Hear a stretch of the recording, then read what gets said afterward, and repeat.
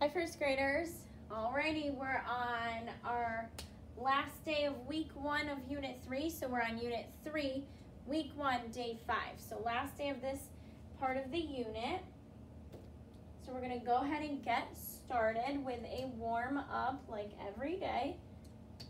We always start with a warm up, right? Alrighty, so here we go. C, K, V, V. F I I T H thumb C K sock S H ship sh J j Y y Good. Alrighty, so the next thing we're gonna do is something that we did the other day. We're gonna do a quick trick word drill. We don't have too many words yet, so I'm gonna point. You say as fast as you can remember. Ready? The. And.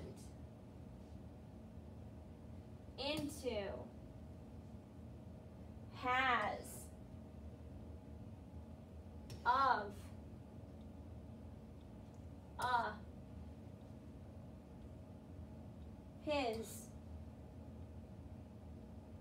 to, as. Oh, we almost forgot. Is. Good.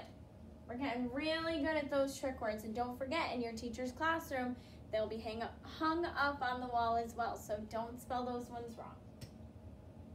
Okay. So today, I put some words on this wall. And I want to see if we can figure out what the words are because four of them are our word of the day. So we should be able to recognize those ones.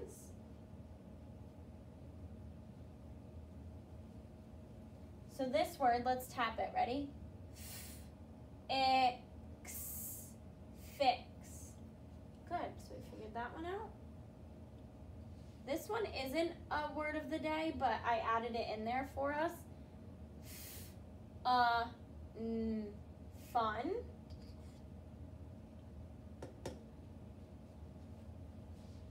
Sh, uh, shut.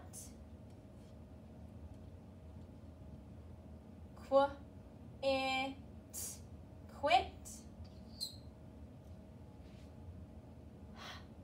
Ad, had. Okay, let's go right here. Mm, uh, d, mud. And mm, uh, ch, much. Good. So right now, I want you to look at this wall, find a word that has a buddy letter. Do you see anything that has a buddy letter in it? Did you say quit? Q-U. Those are buddy letters, so we circle them together. Good. We found the buddy letter. Can you find the word that starts with a digraph? So a word where the digraph is at the beginning.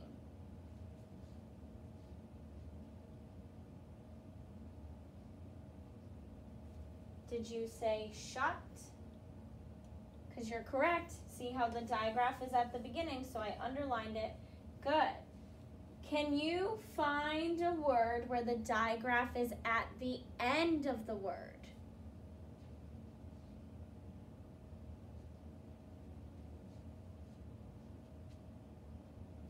If you said much, you're correct.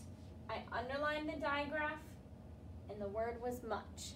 Great work, friends. And the last thing we're going to do today is read a story. And the way we're going to read this is a little different if you're in school. So at home, you're going to follow along. It's called something, but I need to tap it. Ready? Odd, cod, ish, fish. Good. So I'm going to underline the SH digraph. To remind me that those letters are stuck together. And we're going to read it one sentence at a time. Okay? Jack had a net to get a codfish for Jed the cat. So that's a period right there. No, it's a little blurry. Okay.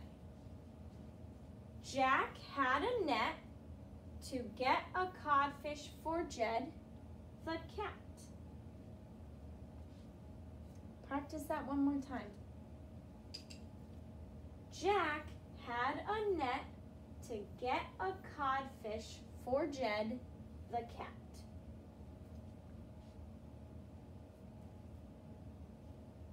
Good.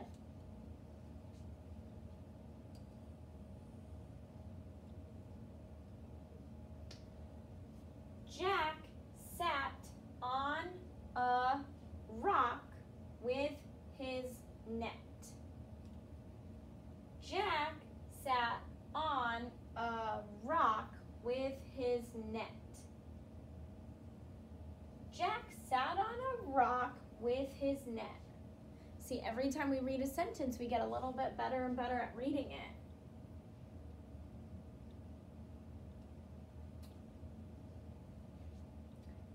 Jed sat on a log. That's an easy sentence. Jed sat on a log. Jed sat on a log. And each time we scoop, we get a little bit more fluent. That means that you're reading it better and better. So we're going to end here with the exclamation point, even though it's not a period. Jack had the luck. Jack had the luck.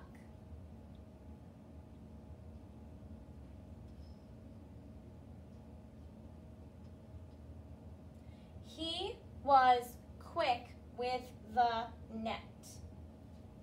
He was quick with the net. He was quick with the net.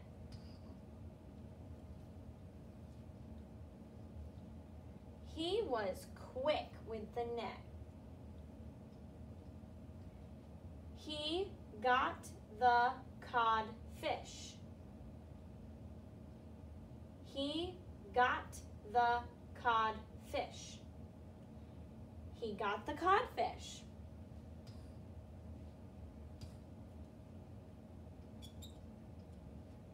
Jed had a dish of fish. Jed had a dish of fish. Jed had a dish of fish. And then the end is yum. Yum. Okay, so let's go back to the beginning now that we've scooped out the whole thing and see if we can read it together. Jack had a net to get a codfish for Jed the cat. Jack sat on a rock with his net. Jed sat on a log. Jack had the luck. He was quick with the net.